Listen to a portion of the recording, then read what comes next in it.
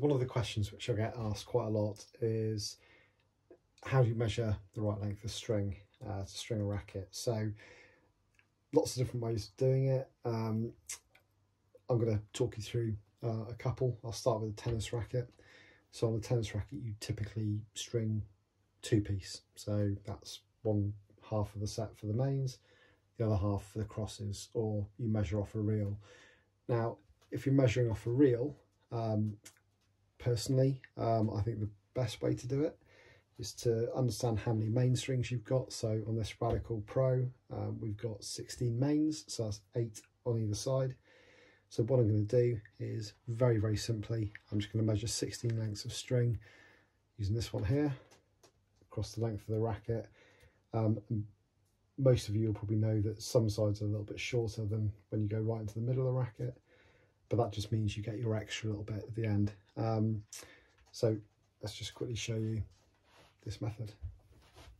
So very simply pull, so it's one, two, three, four, five, six, seven, eight, nine, 10, 11, 12, 13, 14, 15 and 16.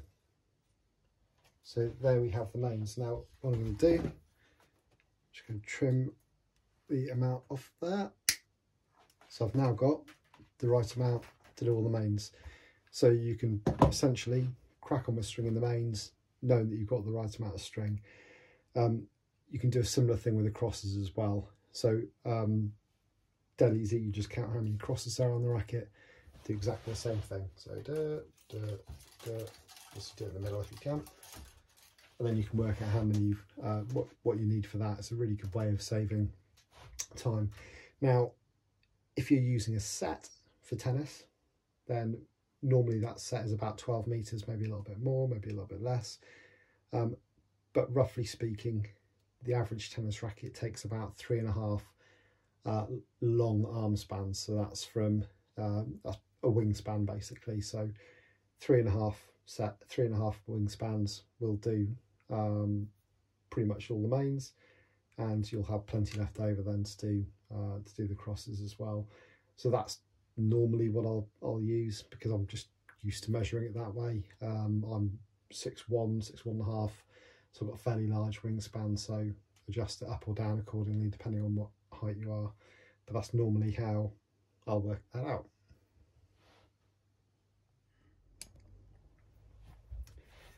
So talking about how to measure string uh, for a racket. So this string is Tecnifibre 305 1.10.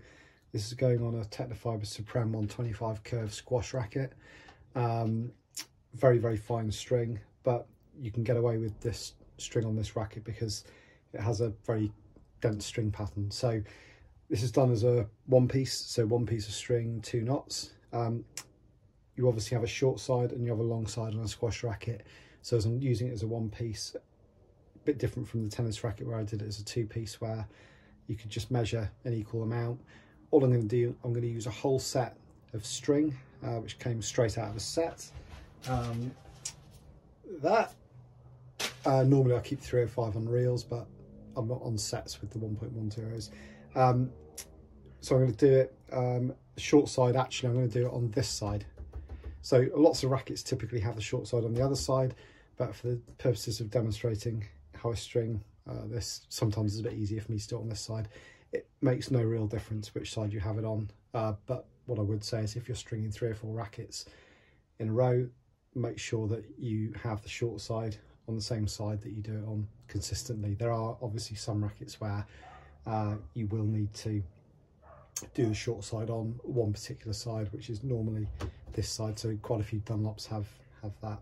And that's just because they have grooves in the bumpers and in the side strips as well. So just be a bit careful what you're doing, but on this racket it doesn't matter. So uh, back to the original point, um, I'm going to very quickly show you how I measure this. So I've got a set, which is roughly about six arm spans long. Um, I could probably get away with about five and a quarter arm spans, maybe even five arm spans on this racket. But I'm just going to leave myself a little bit extra seeing as it came out of set. No point in risking it. So um, I'm going to measure, so although it's 14 main strings in this racket, I'm going to measure uh, as if I had 15 main strings. And the reason why I'm doing that is on the short side, I'm going to add an extra length because I'm going to use that extra length to do the top two crosses. The advantage of doing that is you actually keep the tension really, really good and consistent on both of the side mains. So it means that you've got no tension drop off. Yes, you can get around it by um, adding a bit of extra tension to the last main on the short side, but personally I quite like this one because sometimes it's quite good to have it a bit softer on the tops on the top cross than it is um, on the side main. So anyway, here's how I measure. So start at the throat, one, two, three, four, five, six, seven, eight. So that will cover me for the whole of the short side, plus a couple of tops as well. So now what I'm going to do, I'm just going to feed this through. I'm keeping hold of the point here, so I'm not sure if you can see, but I'm keeping hold of the point where I stopped counting. So that's basically up there. So that is now on the side. That is now enough to do seven mains plus top two crosses. Just being careful not to lose that string there. Get on the other side. Just feed it through gently, as it's a really thin string as well. This um, I want to be super careful not to crimp it, kink it, or do anything to it. It's going to damage that string. So just quickly pull this through. See it winds around. So when you see it starting to wind around a bit, try and get it before it crimps. Better to save yourself any hassle later on. So there we go. So that's how I measure. So I've got enough on this side of the racket on the long side to do seven mains plus all of the crosses.